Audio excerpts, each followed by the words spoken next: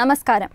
മുഖ്യമന്ത്രിയുടെ മുൻ principal secretary M ശിവശങ്കറുമായി തനിക്കുള്ള ബന്ധങ്ങളെ തുറന്നെഴുതിയ സ്വപ്ന സുരേഷ് തന്റെ പുസ്തകത്തിൽ അദ്ദേഹവുമൊത്തുള്ള ചിത്രങ്ങളും പങ്കുവച്ചു.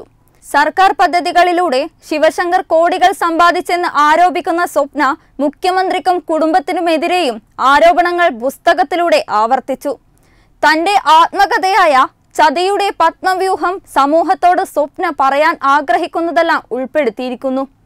കോൺസുലേറ്റ് വഴിയുള്ള ആവശ്യങ്ങൾ നേടിയെടുക്കാൻ ശിവശങ്കർ തന്നെ ഉപയോഗിക്കുകയായിരുന്നുവെന്നും കോൺസുലേറ്റുമായി ബന്ധപ്പെട്ട രൂപമെടുത്ത ചതിയുടെ ഒരു ചിലന്തിവലയുണ്ടെന്നും അവർ ആരോപിച്ചിട്ടുണ്ട്. ചിലന്തിവല എന്ന് പേരിട്ടിരിക്കുന്ന ഒൻപതാം അധ്യായത്തിലാണ് ചതിക്കപ്പെട്ടുവെന്ന അവകാശവാദവുമായി സ്വപ്ന രംഗത്ത് വന്നത്.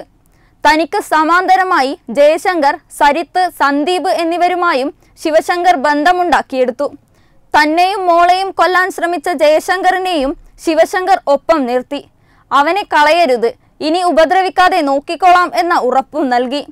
കോൺസുലേറ്റിലെ അനധികൃത പ്രവൃത്തികളെക്കുറിച്ച് പറഞ്ഞപ്പോൾ ശിവശങ്കറിന് ഒരു ഉത്കണ്ഠയും ഉണ്ടായില്ലെന്നും കൂടുതൽ അനധികൃത പ്രവർത്തനങ്ങൾ നടത്തുന്നതിന് തയ്യാറെടുക്കുകയായിരുന്നുവെന്നും സ്വപ്ന പറയുന്നു.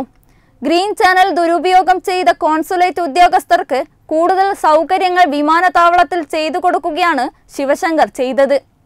ഇതേ കോൺസുലേറ്റിനെയും ഗ്രീൻ ചാനലിനെയും തങ്ങളുടെ ഡീൽ നടത്തുന്നതിന് ഉപയോഗിച്ചു.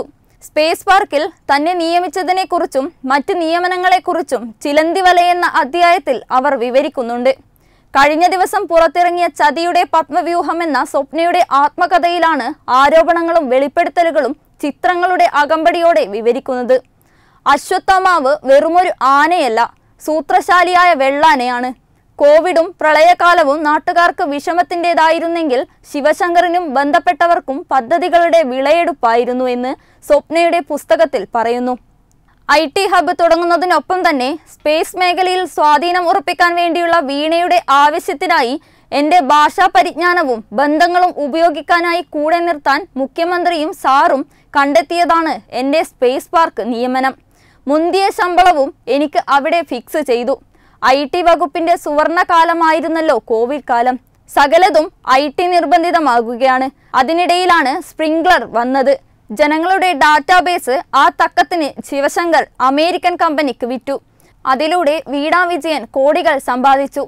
ആ വിഷയത്തിൽ ആരോഗ്യമന്ത്രിയായിരുന്ന ശൈലജ ടീച്ചർ ശിവശങ്കറുമായി നേരിട്ട് ഏറ്റുമുട്ടി.